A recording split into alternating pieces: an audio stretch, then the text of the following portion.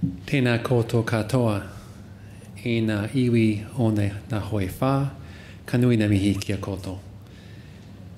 Ko Jim Sinner Tako Ingawa from Cawthron Institute and the, lots of other members on the team who are listed on the slide who've done uh, certainly contributed a lot to this research.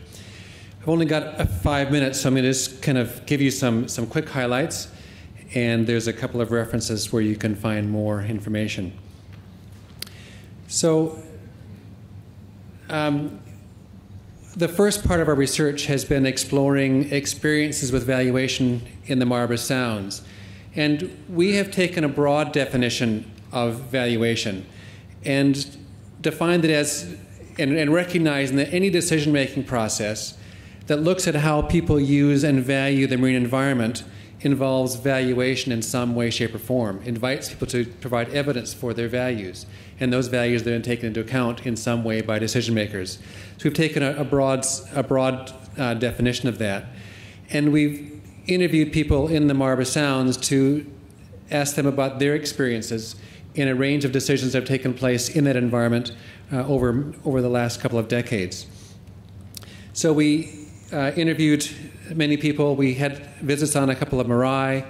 We went on a boat trip out onto the to the uh, Pelorus Sound with people from the iwi who have uh, Mana Whenua, Mana Moana status in that area, and we had a workshop in Picton with stakeholders and iwi. Some of the key messages that emerged from that work. First one is that evidencing and advocating for one's values can be really demanding and damaging to people uh, financially, emotionally, personally. And this was true for some applicants as well as submitters. This, these are really demanding and challenging processes. And this other the next point is that formal processes can privilege certain people and some kinds of values over other kinds of values. And that we need to appreciate that when we design processes to enable people to, to evidence and advocate for their values. The next point I wanted to make is that all valuation articulating processes are imperfect. There's, there's no um, completely right way to do it. And because of that, we need to be transparent and democratic and open to new ways to receive values and to consider those values in situ experiences can be an effective way of receiving intangible values. That may be um, walking the land with people, going out on the water with people, and experiencing their values with them and giving them a chance to talk to you about their values. This work has been published in a paper in Marine Policy, and so I would direct you there for more information. Moving on, we have then tried to identify some principles and frameworks for evaluation processes.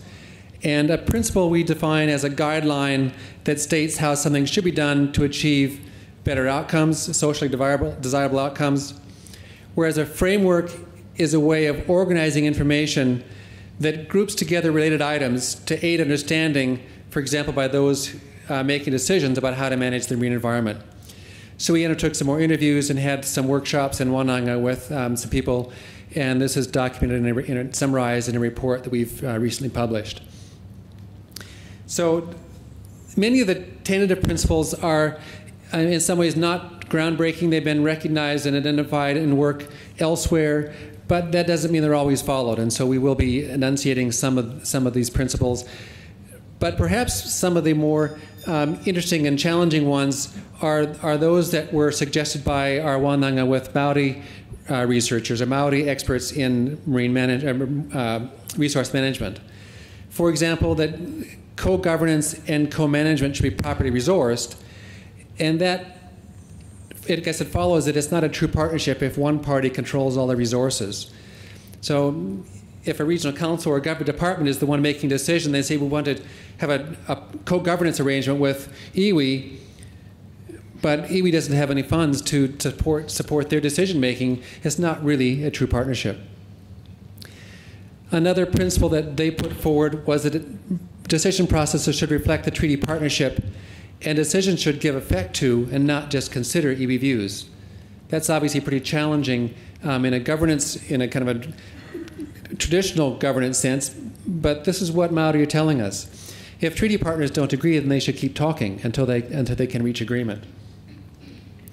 So we're also then looking at tentative frameworks, and I'm just going to flick through these very quickly, um, looking at cost-benefit analysis, uh, ecosystem services, cultural, cultural values frameworks, social network analysis, multi-criteria analysis, um, and maybe mix and match, maybe multiple ways to understand and organize information to help us um, with decisions. And we're hoping to explore these further in a case study in Tasman Golden Bay over the next uh, little while.